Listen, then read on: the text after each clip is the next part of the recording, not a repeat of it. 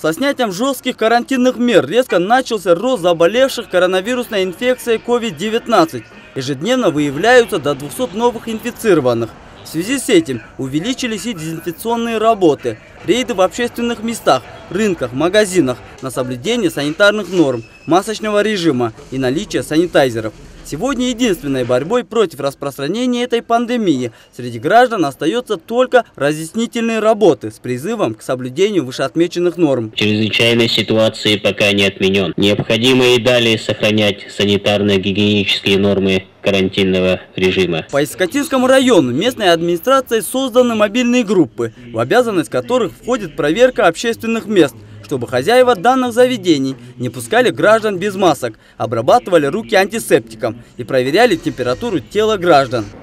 Базарларда Рынки два раза в неделю закрываются, на сандене и дезинфицируются. Штабом регулярно проводятся рейды в общественных местах на соблюдение санитарных норм.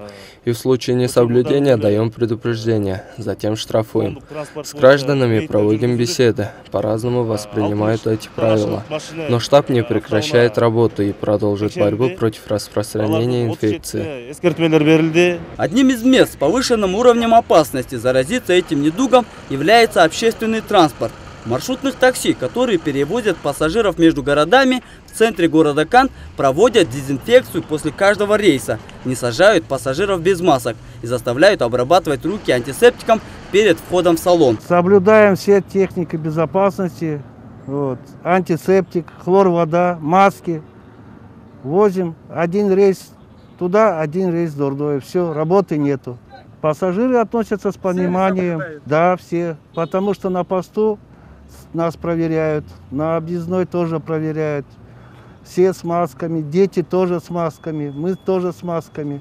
В оперативном штабе не раз говорили о возможном закрытии общественных заведений, транспорта в случае обострения эпидемиологической ситуации.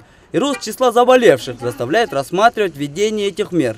И снижение числа больных COVID-19 без жестких карантинных мер. Это проявление социальной ответственности каждым гражданином и соблюдение всех санитарных норм. Азиз Самсалив, Джарканбек Казыбеков, СТВ, Исакатинский район.